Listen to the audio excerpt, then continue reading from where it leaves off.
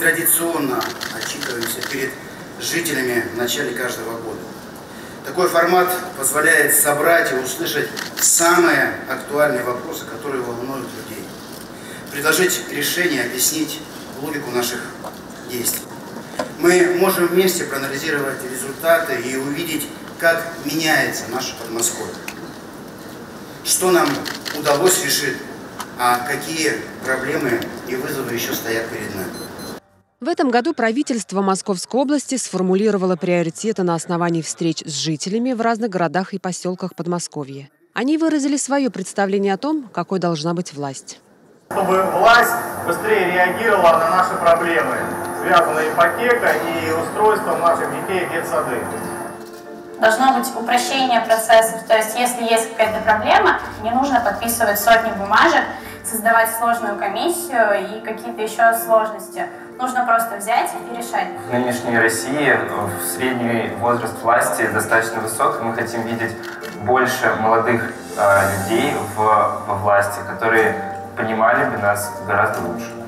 Чуткая власть – это слушать и слышать людей, решать их проблемы, обеспечивать позитивные перемены в Подмосковье. И это подчеркнул Андрей Воробьев во время ежегодного обращения к жителям. Брать ответственность на себя честно и открыто объяснять, почему было принято то или иное решение. Мы отчетливо понимаем, что за все действия всегда существует и критика.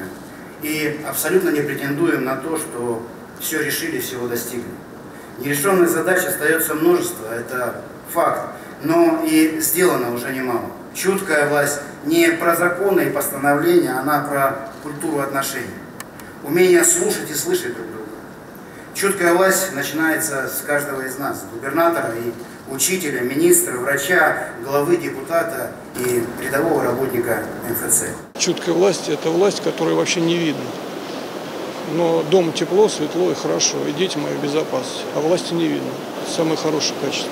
Доверие власти, чуткая власть, это все даже э, мне понравилось, как э, значит, э, Андрей Юрьевич сказал, что это не законы, это не постановление, а главное отношение к людям.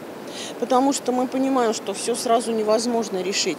Но вот то отношение э, можно выстроить, и можно даже, я всегда говорю, отказать, но отказать, дать человеку уверенность, что если мы сегодня не можем решить моментально там какой-либо э, вопрос, какую-либо проблему, то это не значит, что мы вообще не будем подходить к этой теме. Мы обязательно вернемся и найдем возможность помочь каждому жителю. По словам Андрея Воробьева, вниманием и заботой о жителях необходимо доказывать свое лидерство. Наша задача – соответствовать высоким требованиям, решать проблемы людей и обеспечивать позитивные перемены, проявлять чуткость и внимание.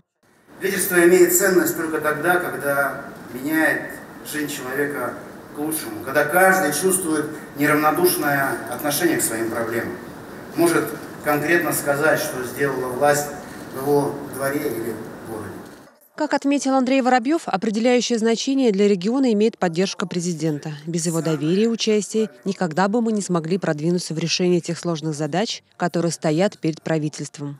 Развязки, путепроводы, новые школы, перинатальные центры – все это связано с национальными проектами и идеологией нашего президента.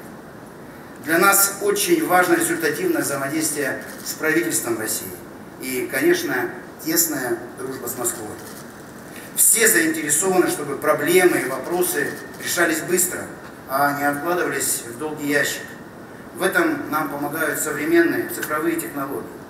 Поэтому мы часто и много о них говорим, о внедрении цифровых процессов в управлении, как на муниципальном, так и на региональном уровне. Каждый год имеет свою особенность и уникальность. 2020 год для всех жителей России знаковый. Этот год – 75-летие победы в Великой Отечественной войне. День Победы – праздник, который мы всегда встречаем с радостью, волнением и гордостью за наш народ, за наших предков. Сегодня в этом зале наши ветераны. Герои, которые и по сегодняшний день остаются в Андрей Плустунов, Алена Иванова, Ольга Захваткина для программы «Городские вести».